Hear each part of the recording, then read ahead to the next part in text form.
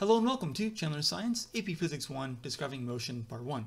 In today's lesson, we're going to look at what a motion diagram or motion map is. We'll see the differences between a vector quantity and a scalar quantity, and then we'll learn how to add, subtract, and multiply vector components. This is my very first video in my series of lectures designed to help you learn all there is to know about AP Physics 1 and pass that test in May. Because it is the very first video in this series, I'm going to keep it very simple and basic for now with the most fundamental things, and we'll work our way up to the harder stuff later, and I promise it will get harder.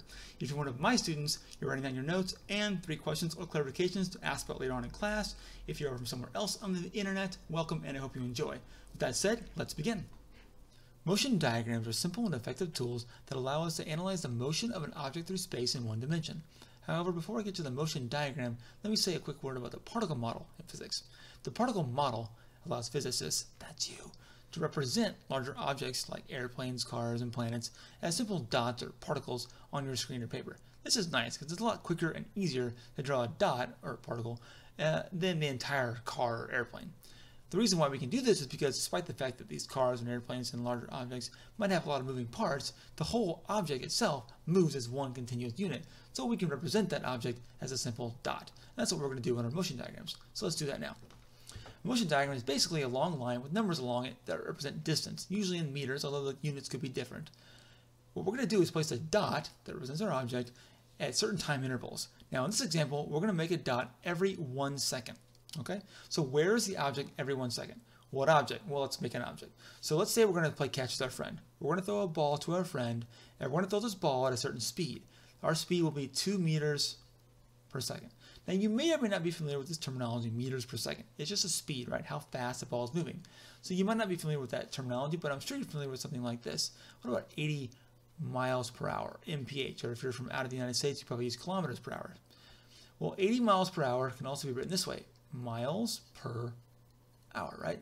So what, what does that mean? If you were to travel at 80 miles per hour for exactly one hour, how far would you go? You go 80 miles, right? So this terminology is the same thing we're doing now, except instead of miles, we're using meters, and instead of hours, we're using seconds. So if we're going 2 meters per second, how far do we go in one second? Well, we go 2 meters, right? Because we're going 2 meters per every second. So if we throw the ball at 2 meters per second, where we draw the next dot in the next second?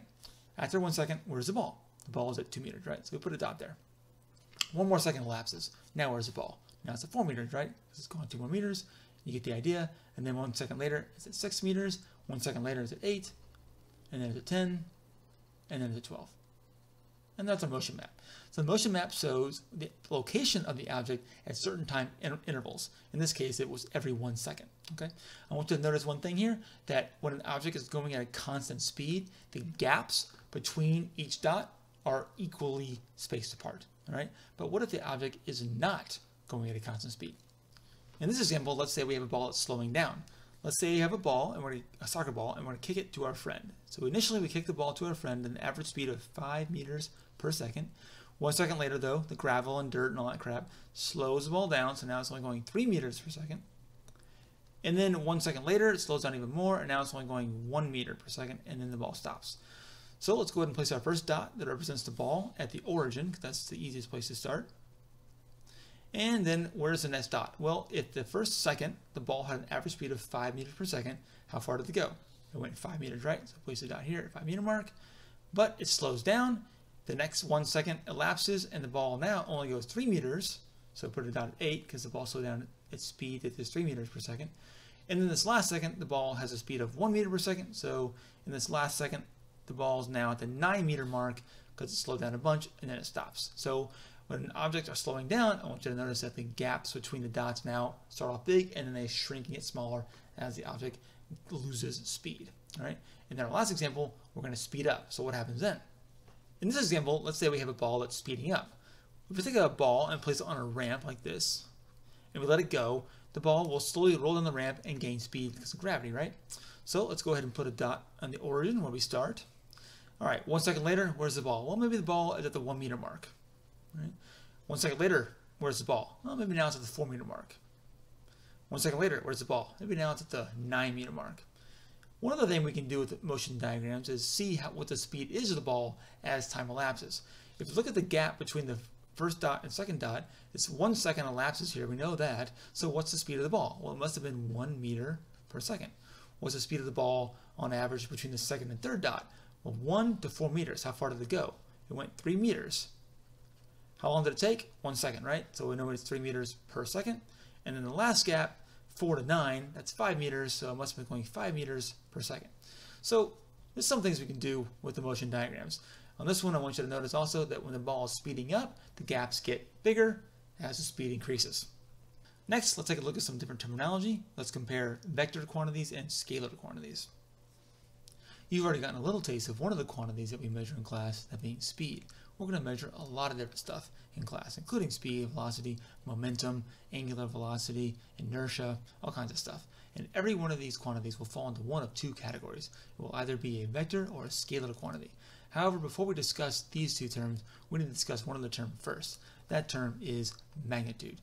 Magnitude is our fancy science word of saying how big something is, right? It's basically a number. If it's something that we can measure, it has a magnitude, right? So when you hear the word magnitude, I want you to think, oh, the number. How big is that thing? For example, if I asked you the magnitude of your bank account, you would tell me how much money was in your bank account, right? Hopefully it's a positive number, not a negative number. You get the idea, right? So magnitude basically just means it's some number, right? All right. So let's go on to scalar and vectors then. A scalar quantity is a quantity that can be described with just one number, i.e. the magnitude, right? For example, your age. Age is scalar, right? Students are often very surprised to find out that my age is, in fact, at the time of this recording, 36 years old, right? So what's the magnitude of my age? 36. Do I need any other description to tell you how old I am, right? I have the magnitude, 36, and the units that go along with it, years, right? That's it. That's all I need. So that's a scalar quantity. Some other stuff, like in physics land, it's scalar is like time. How hey, how long has it been since the race started? Oh, you just missed it. It started 12 seconds ago. All right, magnitude 12 units seconds. Hey, what is the mass of that object over there? Oh, the mass of that object is 15 kilograms. 15 is the magnitude, kilograms is the units. That's all you need, right? Boom. What about vectors though? Vectors are a little bit different. Vectors have magnitude, but they also have direction. And this is super Super important actually, right? I'm going to give you one example of a vector from physics, and that is velocity. Right? So if I told you, hey, or I asked you, how fast are you going? And you said you were going 25 meters per second. That's actually not a vector, is it? Because it doesn't have direction. You just told me how fast you're going, but you didn't tell me what direction you were going. What you told me was your speed. Speed is like velocity, but without direction. Speed is scalar. Velocity is a vector. It has speed, but then it has direction, right? It makes it special, so it's a vector. All right, so if you're going to tell me how uh, going, 25 meters per second, and you want to make it a, a velocity vector, you got to tell me, oh, well, maybe I'm going in this direction, or maybe that's east, right? Different ways to write it, but you get the idea. It has direction and it has magnitude, all right? Now, let's talk about how we're going to add, subtract, and multiply vectors together. So it turns out that vectors are really important in physics. We should get a handle on them now so we can use them all year long. Whenever we're doing problems that include vectors, it's often a good idea to draw them out so we can visualize them, which will help us solve the problem at hand. Let's do some quick examples now so you see what I mean. Let's say we have an object like a ball that's rolling on the ground to the right at 5 meters per second. Someone's going to come along and give the ball a little nudge in the same direction, and they're going to add some velocity to the, velocity to the ball. Maybe they're going to add 2 meters per second to the ball. A quick note about vectors now. When we're drawing them out, we literally draw them as arrows to represent their magnitude the length of the arrow. Notice that the 5 meter per second arrow is longer than the 2, 2 meter per second arrow. And then, of course, they have the direction, the direction the arrow is pointing. All right, so whenever we're going to add them, we always add arrows, what's called tail to tip. Always add them tail to tip. Okay, so what's a tail and what's a tip? Well, this is the tail of one arrow, and here's a tip of the arrow. Now, it doesn't matter what order we do it in. We can take the tail of one arrow and add it to the tip of the other one, or vice versa. It doesn't make a difference. But the point is, as long as we take the tail of one arrow and put it on the tip of the other arrow. Okay? So we're going to redraw them now, and we do that. So here's a 5 meter second arrow. I'm going to take the tail of this guy, which is there, and put it on the tip of this arrow, which is there. But we're going to redraw it, right? So it looks nice and neat. And there we go. So we've just combined those vectors. We've added them. We've added them tail to tip. whenever we add or combine vectors in any way, we have to draw what's called the resultant vector. Resultant vector. The resultant vector is literally the result of adding two or more vectors together. In this case, it's pretty easy because it's just a simple straight line, right? We're always going to start at the very beginning. Where did we first start drawing this vector? We started right here, right? Where do we end? The last bit of arrow we drew was right here on the very tip, right? So the resultant vector will always be from the very beginning of the first arrow we drew to the very tip of the last arrow we drew, right there. What's the magnitude of this vector? Well, you probably guess that's 7, right? Because 5 plus 2 is 7. So our new magnitude of this new arrow will be 7 meters per second. You'll notice that this arrow is longer than the 5 meter second arrow and the 2 meter second arrow, right? It's pretty easy when it's in a straight line. Let's try one that's not quite so easy. Let's say we have an example where we have a ball that's rolling along this direction at say 8 meters per second. And someone's going to come along and give it a kick or a push or a nudge in a different direction. They're going to add 5 meters a second of velocity, but they're going to add it in that direction, forward like that, okay, or to the north. Hmm, what happens now? Well, the same thing, the same pr procedure that we're going to do, we're going to take the tail of this arrow and put it on the tip of that right? So it's kind of rearrange them so they kind of line up. We have the 8 meter second arrow this way, and we have the 5 meter second arrow this way. Hmm, it's not a straight line anymore, right? We still need to draw the resultant vector. We're going to start with the very beginning of the first arrow we drew, which is right here on the X, and we're going to go to that spot right there, right? The last little bit of the arrow we drew last. So we're going to start here in the X and go to that circle. That arrow is a resultant vector. Now you might notice that if I have a horizontal line this way to the east and then one to the north like this, it makes a right angle. Hmm, kind of nice. What do we know about right angles? Well, hopefully you remember from geometry class, it's pretty easy to find the hypotenuse if you know this side is 8, this side is 5. You can use Pythagorean theorem, a squared plus b squared equals c squared. I've already done that for you. It turns out that the hypotenuse here is 9.4 meters per second. So this object will not be going 8 or 5 or 13, but instead it'll be going 9.4 meters per second, the magnitude of our resultant vector, and we can even find the direction using some trigonometry. Remember your SOHCAHTOA.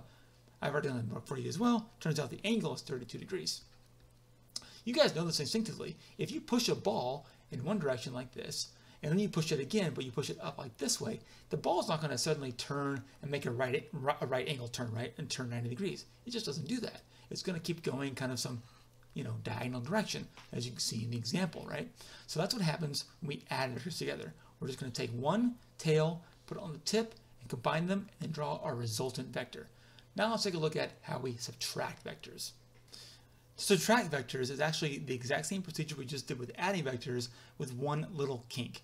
We're going to flip the negative vector. For example, let's say we have one vector. Let's say it's vector A. Let's say we have vector b also. It's a little bit shorter than vector a. Let's say we want to subtract a minus b. a minus b equals, let's call the new vector c. So the resultant vector will be c, but what will it look like? Well, a is this way, and then b was also that way, but now you see b is negative, right? Because we've put a negative sign in front of the b. Whenever you have a negative sign in front of the vector, you just flip its direction. So if b was to the right, negative b will be the same magnitude, but to the left, opposite direction. So now b is this way. Then we're going to combine the vectors the same way we did before. One tail to the other's tip. Doesn't matter what order we do it in, so long as we have one tail going to the tip, we're good, right? So we have here, the vector A, and then I'm going to take uh, the tail here actually and put it on the tip of that guy. So it's actually going to go back this way, something like that. Okay, this is kind of weird. We have two vectors kind of overlapping each other. So what does the resultant vector look like? Well, still going to go uh, start from the very beginning of the first vector we drew, the x, to the tip of the last arrow that we drew, which is right here, right? So it turns out that a resultant vector, let's get different colors so that we can see it. Let's go blue, will be right here. If I redraw it separately so it looks, we can see it easier, it's right there, right? And the length of this arrow will be c. It'll be whatever a minus b was, right? Let's do it again, but using different directions. So let's get my red pin again. All right, so we have, this time we're going to have vectors d and vectors e. And I want to do e, uh, d minus e equals f. So we're going to label the resultant vector f, there's d, and there's e. So notice there's no negative sign in front of the d. That means d must be positive, so we're going to leave d alone, right? But there's a negative sign in front of the e. That means we're going to flip e around, right? So e was pointing down to the left, so negative e is in the opposite direction. You can just kind of think of taking the arrowhead and putting it on the other end of the arrow. So instead of going down left like that, it goes kind of upright like this. This is negative e. So when we combine these two vectors, we're going to have d going to the right like that, and then we're to take e, the negative e, the tail of it, I'm going to put on the tip here, so I'm going to draw like that. So it turns out f will be from the very beginning, right there, to the very end, right there, and our resultant vector will be, and we'll do it in a different color so it make more sense. Resultant vector will be from the very beginning, the very end, and there is our f vector. All right, so that's how you subtract vectors. You simply flip around the direction. You don't change the magnitude or anything else. You just flip it around so it's the uh, opposite direction that it was facing. All right, now let's go to multiplying vectors. When we subtracted vectors before, we changed the direction of the arrows, but we let the magnitudes alone. Well, when we multiply vectors, we're going to leave the direction alone, but we will change the magnitude. Let's take a look and see how that works. Let's say we have two vectors, vectors A and vectors B. And then let's say let's do a problem. 1 half A plus 2B. Well, there's no negative sign in there, so we're going to leave the direction of the arrows alone, but we have these coefficients in front of the vectors. The coefficients tell us how much to change the magnitude by. 1 half means that A should be half as long. Recall that we said the length of the arrow corresponds to the magnitude of the vector. Well, if this is 1A, then half A should be half as long, right? So there's half A. If this is 1b, then 2b should be twice as long, right? So there's 2b. And you try to draw straight arrows as best you can, but oh well, that's good enough for us. All right, so there's 1 half a, half as long as a, and 2b, twice as long as b. All right, now when we combine these vectors, we're going to add them the same way we've been doing. We'll take the tail of one and put it on the tip of the other one, right? So we're going to redraw these to make it nice and neat. 1 half a, and then the tail of 2b on here, and there's 2b, and then we're going to draw our resultant vector.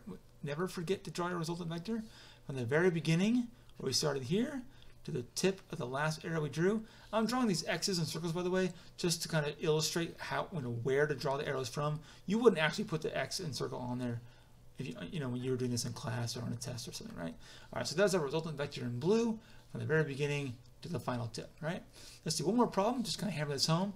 In the last example, let's combine everything we've learned. Let's include multiplication and the multipli and the subtraction. Let's do 2a minus 1 half b. All right. So this time we're going to take the a vector and make it twice as long. So that's 1a, and 2a should be about twice as long as that. So maybe like that long.